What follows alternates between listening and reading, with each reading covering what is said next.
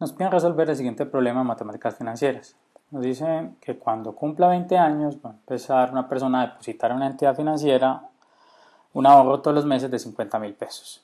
La entidad en la cual eh, se deposita el ahorro reconoce un 5% anual, o sea, nos dan la tasa anual. La pregunta es, ¿cuánto será el saldo eh, cuando la persona cumpla 60 años, o sea, 40 años después, en la cuenta si se toma el problema pensando en interés simple y en interés compuesto. Bueno, entonces lo primero que tengo que aclarar es que con interés simple esto es inusual, eh, porque en interés simple lo que estamos diciendo es que si yo pongo los 50.000, la cuota 1, van a tener que reconocer si son 12 eh, años, eh, perdón, 12 meses por 40 años, son 480 cuotas, de la Cuota 1 que solo me entreguen los intereses al final de los 40 años no tiene sentido porque mis intereses también deben ganar intereses.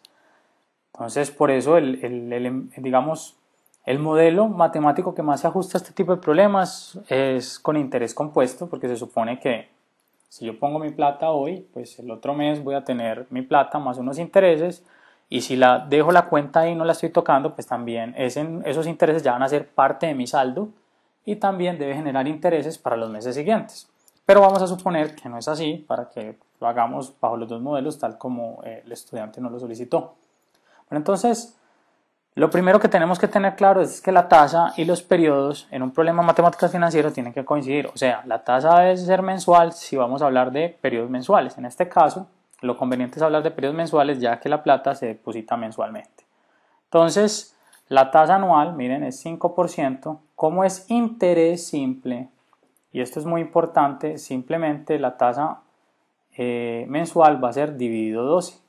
En interés compuesto vamos a ver que es un poquito distinto. Entonces, el 5% dividido 12, eso nos da una tasa, vamos a usar la calculadora para eso, del 0.42%. Ahí redondeamos un poco eh, los decimales. Esta es nuestra tasa mes, mes. Entonces vamos a poner mensual. Bueno, ahora el saldo, al final de esos, el periodo, el número de periodos va a ser n, lo vamos a llamar n, va a ser 40 años por 12 meses, esto es 480. Entonces vamos a tener 480 cuotas. Miremos que si arrancamos a los 20 años y ponemos la primera cuota a los 20, o lo voy a pensar en un año, miren, cuando yo lo hago, pongo el día 1, pongo los 50 mil. Y el mes 11 pongo 50.000. Aquí hay 12 periodos. Se supone que en este periodo no ponemos plata porque no tiene sentido. En este vamos a hacer el reclamo del dinero, no vamos a poner ese mismo día otros 50.000, si no serían 481 cuotas. Pero este no es el caso. Entonces recordemos, son 480 cuotas que vamos a disponer de 50.000 pesos. Entonces el saldo al final van a ser las 480 cuotas por el número de cuotas más los intereses. Pero para calcular los intereses aquí vamos a tener que tener en cuenta que es un poco más complejo. vamos a pensar en la cuota del día 1. Vamos a poner 50.000 y vamos a multiplicar por la tasa, ese es mi interés mensual, por punto .42%. Recuerden que punto .42% es 0.0042. Simplemente aquí lo dejamos en porcentaje para que entendamos la mecánica. 50.000 por 0.42% por el número de intereses que me tienen que pagar, 480. Pero esto es solo de la primera cuota. Para la segunda cuota me van a pagar 50.000 por 0.42%, ahorita vamos a ver cuánto es eso, por 479 y así sucesivamente, hasta que la última cuota solo me van a pagar 50 mil por 0.42% por un mes, o sea, por uno. Entonces tenemos que encontrar esta suma. Esta suma son los intereses de este problema cuando estamos considerando que nos van a pagar todo con interés simple. Entonces vamos a preocuparnos por esto. Entonces lo primero que vamos a resolver es 50 mil por 0.42, esos son 210 pesos mensuales. 210, miremos que estos 210 los vamos a multiplicar por 480 después 210 por 4, 79 y así sucesivamente 210 por 1. Esto es una progresión aritmética. De hecho, en las progresiones aritméticas obviamente no se toma considerando el último periodo, sino desde el primero. O sea, vamos a tomar, vamos a, a pensar en esto al revés. Vamos a tener 210 por 1 más 210 por 2 más 210 por 3 y así hasta que lleguemos a 480. Entonces, para hacerlo, simplemente vamos a utilizar la fórmula de progresión aritmética. Vamos entonces aquí a quitar esto, ya, ya, ya no lo necesitamos. tenemos una progresión geométrica donde el término AN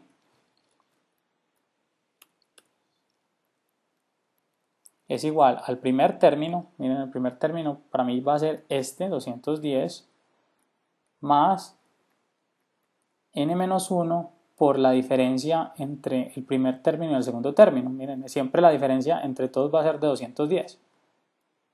Miren que esta formulita me dice para cualquier periodo cuánto eh, me van a pagar. Miren, para el primer caso tenemos 1 menos 1, 0, 0 por 210, 210. Para el segundo caso, 2 menos 1, 210 más 210 es 2 veces 210, que es lo que tendríamos aquí.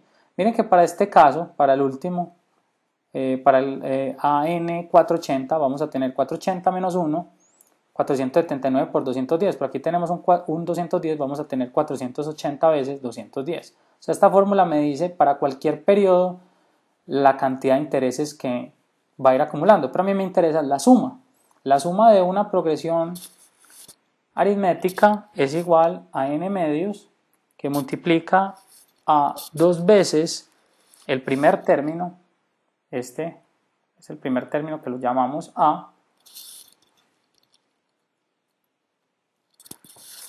más n menos 1 por la diferencia. Y la diferencia D, en este caso, miremosla, es esta, esta es D. Entonces vamos a usar esa fórmula. Ya sabemos que el saldo, al final le tenemos que sumar las, todas las cuotas que dé.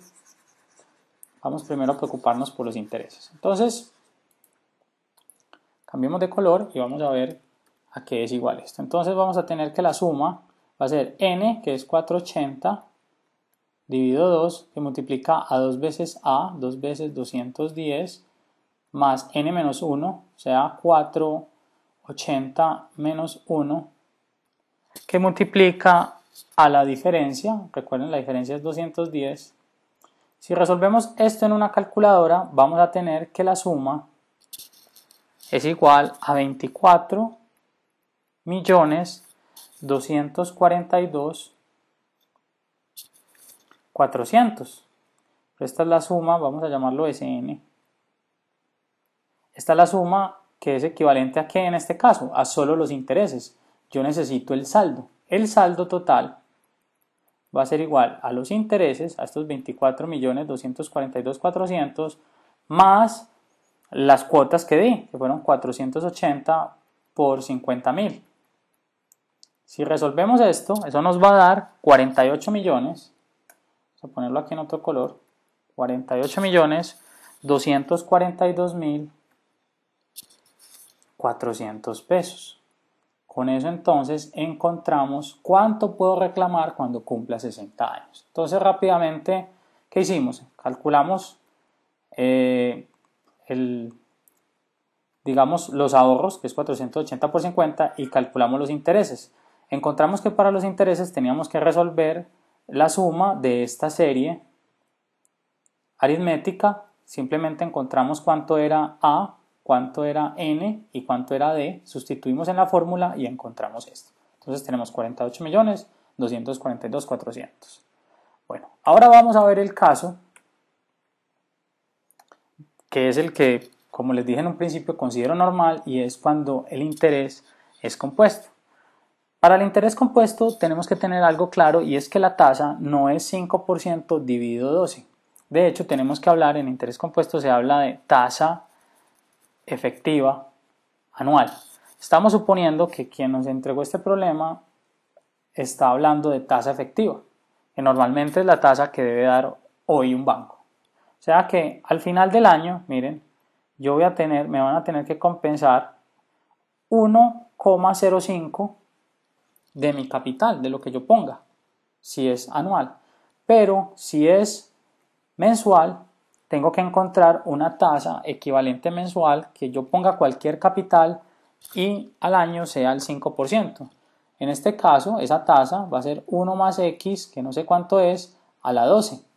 Miren, estas tasas tienen que ser equivalentes. Si yo pongo un capital de 100 eh, pesos en esta entidad financiera, al final del año me van a entregar 100 por 1.05. Miren, va a ser 105. Ahora, ¿cuánto es mensual para que yo ponga 1 más esa tasa a la 12 y obtenga los mismos 105? ¿Cierto? Eso es lo que tenemos que encontrar aquí. ¿Cuánto vale la tasa efectiva mensual? Entonces, para hacer esto, simplemente despejar x va a ser 1.05 a la 1 doceavo. Miren, saqué raíz doceava a ambos lados y este 1 que está sumando lo paso a restar y encontramos la tasa efectiva mensual. En este caso, la tasa, si usamos una calculadora, vamos a encontrar que es 0.41%. Fijémonos que es inferior a la tasa que obtuvimos cuando hicimos 5% dividido 12. Esta es la tasa. Ahora, para eh, el interés eh, compuesto, vamos a tener que el saldo va a ser igual, miren, la primera cuota de una vez con todo y, intereses va a ser 1 más la tasa, que es 0.41%. Recuerden que esto es lo mismo que tener 0.0041, simplemente lo escribimos así para que entendamos, a la 480. O sea, aquí sí estoy teniendo en consideración que estos 50 mil al primer mes me van a dar 1 más 0.41%. Al segundo mes me van a dar 1 más 41%, pero sobre el mes anterior. Por eso la fórmula es con exponentes, con 480 en este caso, para que sea la cuota, de la primera cuota. Pero es que yo no solo estoy poniendo 50 mil el primer mes, sino que el segundo mes vamos a tener 50 mil por 1 más 0.41% a la 479. O sea, ya esta va a sumar 479 meses y así sucesivamente hasta la última cuota que simplemente es 50.000 por 1 más 0.41%. Lo bueno para este caso es que ya existe una fórmula financiera que me permite calcular esta suma. Esta suma, el saldo, eh, cuando estoy poniendo una cuota mensual es igual, saldo es igual a cuota por 1 más R, ya vamos a ver qué R qué es, a la N menos 1, todo esto dividido R. En este caso, R es la tasa eh, mensual equivalente, eh, efectiva, perdón, que es esta. Entonces lo único que tenemos que hacer en este caso es sustituir en esta S lo que necesitamos. Entonces simplemente cambiemos de color y vamos a decir que S es igual a 50.000 por 1 más la tasa que es 0.0041 todo esto a la n, en este caso mi n es 480 número de periodos menos 1 dividido 0.0041 si resolvemos esto en una calculadora vamos a encontrar que el saldo, vamos a cambiar de color, va a ser igual a 74 millones 727 005. O sea, nos dio mucho más dinero y es obvio que nos debe dar mucho más dinero porque aquí estamos teniendo en cuenta que cada que pasa un mes, que cada que pasa un periodo donde se capitaliza, estoy ganando también sobre los intereses, mientras que cuando hicimos el problema con interés simple, no. Recuerden, para resolver el de interés compuesto es el más fácil porque simplemente es tener esta fórmula financiera que me dice que el saldo de un ahorro eh, con, en n periodos con una tasa mensual, pues con una tasa para ese número de periodos es igual a esto. El saldo es igual a cuota que multiplica a 1 más r a la n menos 1 sobre r.